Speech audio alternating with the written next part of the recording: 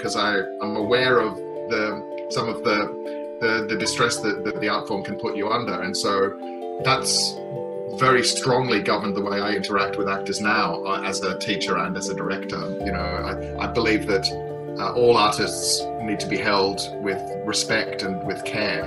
And, and, and in actual fact, the, the more care and the more nurturing you, you give to an artist, the more bold and dangerous they become.